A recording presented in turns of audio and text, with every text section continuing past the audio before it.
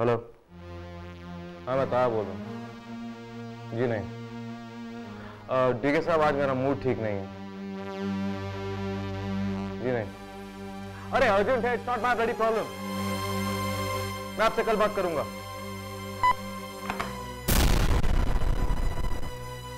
अरे जुबैदा तुम कब आई? जब आप डीके को डांट रहे थे तब। आओ आपको पता है मिस्टर डीके कितनी बड़ी हस्ती हैं? और कितनी मुश्किल से मैंने उन्हें अपने साथ बिज़नेस करने के लिए राज़ी किया था। लेकिन आपने तो मुझे क्या पता था? मेरा मूड खराब था इसलिए गलत अंदाज में उनसे बात कर बैठा। आई एम सॉरी ठीक है। उन्हें तो मैं समझा लूँगी। पर आप ये बताएँ कि आप इतने परेशान क्यों हैं? बात क्या है? नहीं ऐसी कोई खास बात नहीं कोई बात तो है सर। देखिए अगर आप मुझे अपना समझते हैं तो सच्चाई ज़रूर बताएँगे।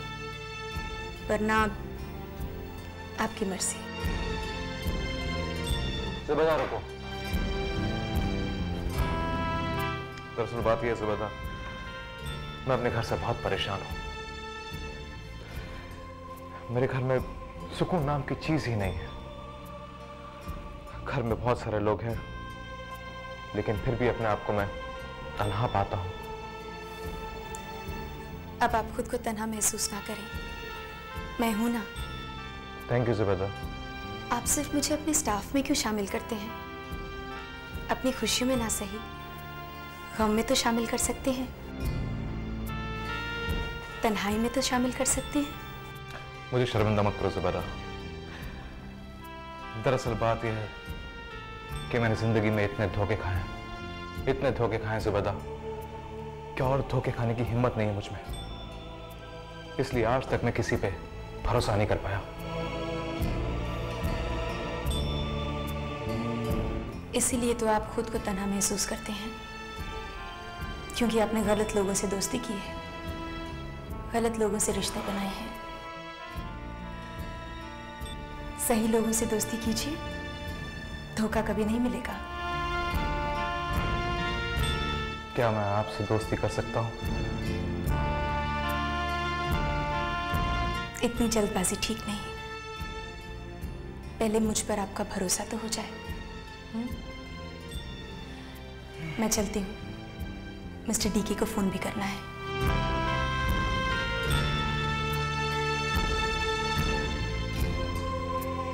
अजीब लड़की है।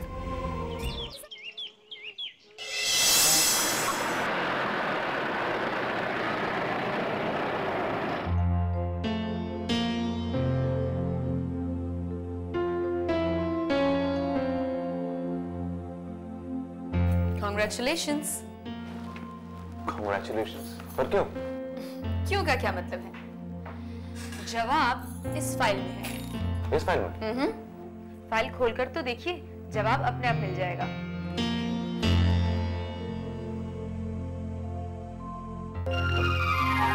ये प्रोजेक्ट ये प्रोजेक्ट हमारी कंपनी को मिला? क्यों? नहीं मिलना चाहिए था? अब, नहीं नहीं ऐसी कोई बात नहीं है। लेकिन मुझे तो उम्मीद नहीं थी कि प्रोजेक्ट हमारी कंपनी को मिलेगा। बहुत अच्छा हुआ जो आपने उम्मीद नहीं की। क्यों? इसलिए कि जब इंसान किसी चीज़ की उम्मीद करता है और वो उससे नहीं मिलती तो उसे बहुत तकलीफ़ होती है। अब देखिए ना आप इस प्रोजेक्ट से बिल्कुल ना उम्मीद थे। अब जब ये प्रोजेक्ट आपको मिला है आप कितने खुश हैं? वैसे मुझे तो लगता है कि असल ज़िंदगी में ऐसा ही होता है। आप जहाँ से ना उम्मीद होते हैं वहीं से सब कुछ मिलता है है ना? हम्म। अच्छा फिलोसफी भी जानती हूँ। जुबैदा आज जो मेरे चेहरे पे खुशी है वो तुम्हारी वजह से है। इस कामयाबी की असली हकदार तुम हो। तुम ना होती तो ये नहीं होता। क्योंकि हम सालों से ही टेंडर भरते आ रहे हैं लेकिन आज तक हमें ये प्रोजेक्ट नहीं मिला। जानती हूँ। इसीलिए तो पहले की जितनी फाइल्स हैं उन सबको स्टडी करने के बाद ही मैंने फॉर्म भरा। पहले की फ़ाइल क्यों? क्योंकि इससे हमें फीडबैक मिलता है as to how to proceed और मुझे ये भी पता करना था कि आज से पहले जो हमारी फेलियर्स हुई हैं, उनकी वजह क्या थी? इतनी गहराई तक तुम गए? ग्रेट वैसे मुझे इस बात की खुशी है कि तुमने मेरी इज़्ज़त रख ली। यू हैव प्रूव योरसेल्फ अब मैं बड़े अबू से कह सकता हूँ कि तुम्हें अपॉइंट करके मैंने कोई गलती नहीं की। वैसे टेंडर में तुमने ऐसा क्या खास कर दिया कि वो लोग कन्विंस हो गए? बस उन्हें रेट्स को लेके कुछ एक्सप्लेनेशन चाहिए थे। मैंने दे दिए। वो सेटिस्फाई हो गए और प्रोजेक्ट हमारा हो गया। सिंपल सिंपल वैसे मैं ये सोच रहा हूँ कि पेपर में मैंने ऐड पहले क्यों नहीं दिया? क्यों? तुम पहले ही आ जाती और सारे प्रोजेक्ट्स हमें मिल गए होते। वैसे ये सारी बातें करके आप मुझे इम्प्रेस नहीं कर सकते। आपको कुछ और भी करना होगा। कहो क्या करना होगा? यू कैन डिमांड ज़्यादा कुछ नहीं just a cup of coffee बस। मुझे लगा था तुम मुझसे तीन चीज़ मांगोगी। ओके मैं अभी मंगवाता हूँ। नहीं नहीं इतना सस्ता भी नहीं। यहाँ नहीं किसी अच्छे रेस्टोरेंट में ओके? डन चले? हम्म, अभी नहीं ऑफ़िस के बाद।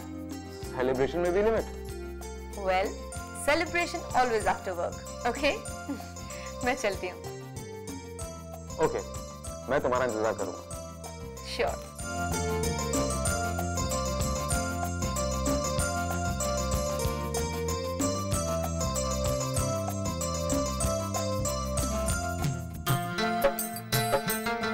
गुड वेरी गुड आज मुझे तहा के फैसले पर बहुत खुशी हुई जब पहली बार इसने आकर मुझसे कहा कि अपनी कंपनी के चीफ एडवाइजर की पोस्ट एक लड़की को दे दी है। तो मुझे तहा के ऊपर बहुत गुस्सा आया। मैंने इसे बहुत बुरा बुला मुझे ऐसा लगा कि तहा ने जो फैसला किया है, बिल्कुल गलत फैसला किया है। क्योंकि मेरा ऐसा नज़रिया है कि जिस बिज़नेस में औरत शामिल हो जाए, वो बिज़नेस बिज़नेस नहीं रहता है। उम्मीद करती हूँ, सर आपका नज़रिया बदल गया होगा। बिल्कुल। तुमने काम ही ऐसा किया है। वो टेंडर जो हमारी कंपनी को कभी हासिल नहीं हुआ। वो टेंडर तुमने हासिल करके हमारी हार को जीत में बदल दिया। बाय द वे हम इतनी जल्दी किसी के कायल नहीं होते हैं। थैंक यू सर किस लिए? मुझ जैसी मामूली लड़की के आप कायल हो गए इसलिए। तुम अब मामूली लड़की नहीं हो। अब इस कंपनी की तुम एक हिस्सा हो। क्यों तामिया आपको ऐसा नहीं लगता कि हमें जुबेदा को और जिम्मेदारियाँ सौंप देनी चाहिए? बड़े अब्बू मुझे तो शुरू से ही इन पर भरोसा था। इसलिए पहली ही मीटिंग में मैंने इन्हें अपॉइंट कर लिया था। और सारी जिम्मेदारियाँ सौंप दी। जो उन्होंने बखूबी निभाई। और मुझे पूरी उम्मीद है कि आगे भी निभाती रहेंगी। मैं आपकी उम्मीदों पर खरी उतरने की पूरी कोशिश करूँगी।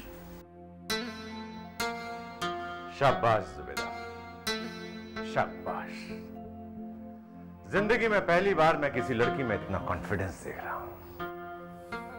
तो बहुत आगे जाओगे और अपना मकसद हासिल करोगे। अपना मकसद पूरा करने की नीयत से ही मैं शहर में आई हूँ, सर। अगर आपकी दुआएँ और तहा का साथ रहा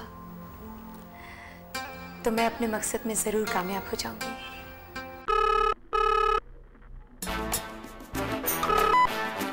हेलो, हम बोल रहे हम।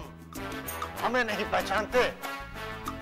चली को आग कहते हैं को राग इस राग से बने बारूद उसे विश्वनाथ कहते हैं। हाँ समझ गए? अरे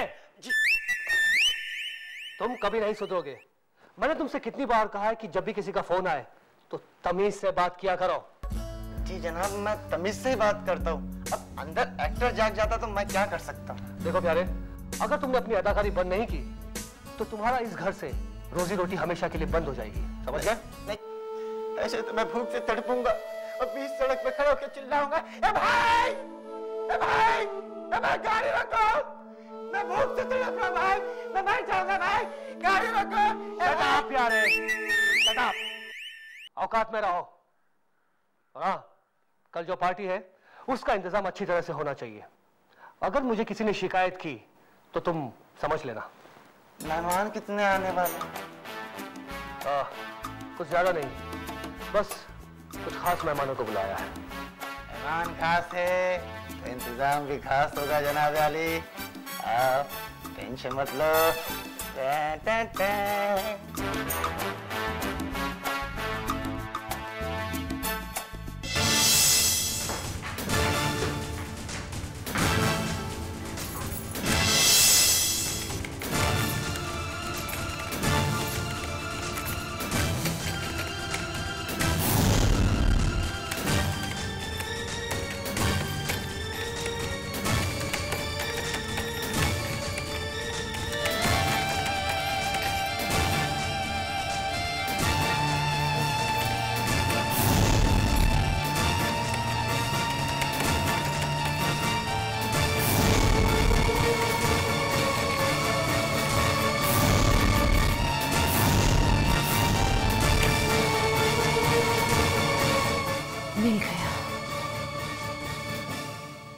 आखिर जो मैं चाहती थी, मुझे मिल ही गया।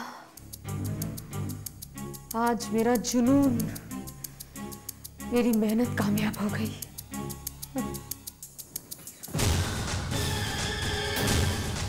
अब बहुत जल्द इस ऑफ़िस पे मेरा कब्जा होगा। सिर्फ़ मेरा।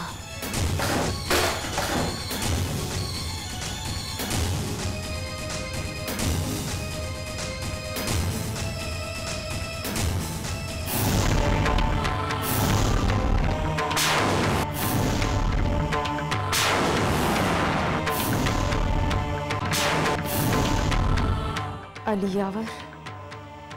तूने दौलत के लिए मेरे बाप को मार डाला।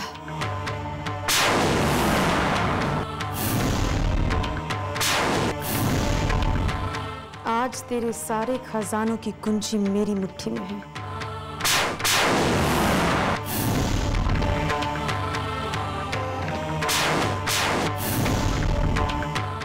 अब बहुत जल्द दौलत के नाम पर तेरे पास एक फूटी कौड़ी भी नहीं होगी।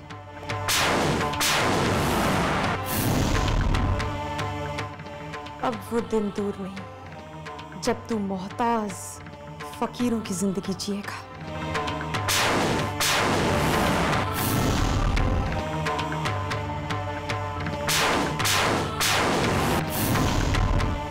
उस वक्त तू खुद अपने मौत की दुआ मांगेगा। अली यावर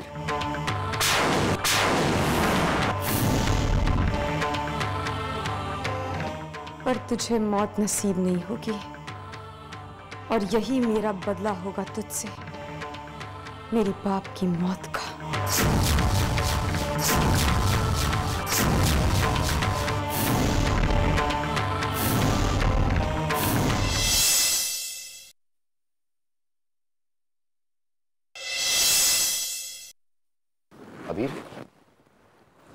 पार्टी पे नहीं जा रही हो? नहीं मेरा दिल नहीं चाह रहा है। क्यों क्या हुआ? वहाँ वो लोग भी आ रहे हैं। मैं नहीं चाहती कोई तमाशा हो। उन लोगों से तुम्हें क्या लेना देना? बस एक बात कहूँ भरी महफिल में तमाशा होना बात ही कुछ और होती है। मैं कुछ समझी नहीं। तुम्हारी नकली सास निगार अगर लोगों के सामने तुम्हें कुछ कहती है तो तुम्हें उसे बेइज्जत करने का अच्छा मौका मिल जाएगा। तुम लोगों के सामने सारी सच्चाई बयान कर देना। ताकि चौधरी खानदान किसी से आँख मिलाने लायक न रहे। वो औरत बहुत चालाक है। मौके की नजाकत को देखकर ही चाल चलती है। मैं जानती हूँ वो भरी महफिल में अपनी नफरत और गुस्से को काबू में रखेगी।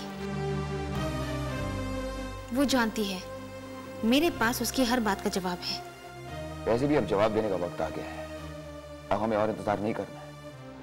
निकार को उस घर से बाहर निकालना है। पहले तो ये बात आसान थी लेकिन अब ये बात मुश्किल ही नहीं नामुमकिन नज़र आती है। क्यों?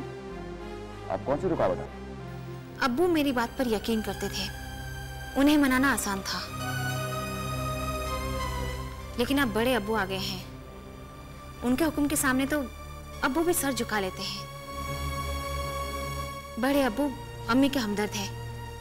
अम्मी के साथ कोई गलत हो वो कभी बर्दाश्त नहीं करेंगे। जानता हूँ। निगार को उस घर में लाने वाला चौधरी है। उसी की वजह से आपा बेघर हुई है सब कुछ होते हुए भी पागल खाने में लाचार और बेबस ज़िंदगी गुजार रही चौधरी तो आज भी नहीं चाहेगा कि बड़ी अम्मी को उनका हक मिले और निगार उस घर से बाहर हो। चौधरी के चाहने ना चाहने से क्या होगा? हमें तो हर हाल में अपने इरादे को कामयाबी तक पहुंचाना है। आपका कहना सही है। लेकिन जब तक हम चौधरी को मात नहीं दे देते, हम कुछ नहीं कर सकते। अब्बू के हज पर जाने के बाद चौधरी ने सारे बिज़नेस को संभाल लिया है। अब ताहा भी कठपुतली बन चुका है। आज हम ये सब सोचकर हार नहीं मान सकते। हारिस की मौत को नहीं भुला सकते। तुम्हारे छीने हुए हुकूक को भुला नहीं सकते। उस औरत ने आज तक ना तो तुम्हें हारिस की बीवी समझा है और ना उस घर की बहू। अब वक्त आ गया ये साबित करने के लिए कि तुम अकेली नहीं हो। इस शहर का नॉन फाइनेंसर तुम्हारे साथ तुम कमज़ोर नहीं तुम कुछ कर सकती हो। ज़िंदगी में अपना मुकाम बना सकती हो। और सुनो अगर तुम उस पार्टी में नहीं गई तो सुहेल को बहुत बुरा लगेगा। यही तो मैं सोच रही हूँ। सोचना छोड़ो और पार्टी के लिए तैयार हो जाओ। तो क्या मैं अकेली जाऊँगी? आप नहीं चलेंगे? देखो, मेरा वहाँ जाना नामुमकिन है। क्योंकि अगर वहाँ पर कोई बात हो गई तो मैं अपने आप को रोक नहीं पाऊँगा। और भरी महफिल में एक औरत के मुँह लगना अच्छी बात नहीं है। मुझे देखकर निगार अपने आप को रोक नहीं पाएगी। वो खामोश नहीं रहेगी। क्योंकि वो जान चुकी है कि आज उसके साथ जो कुछ भी हो रहा है, उसके जिम्मेदार सिर्फ़ मैं सिर्फ़ मैं।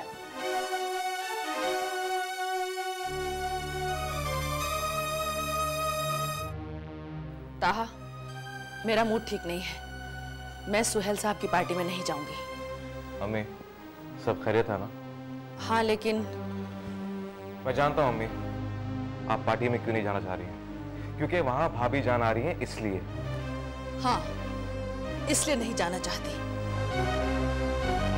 उसे देखती हूँ तो मेरा खून खोल उठता है। कहीं कोई बात हो गई तो लोग तो मुझ पर ही इल्ज़ाम लगाएँगे।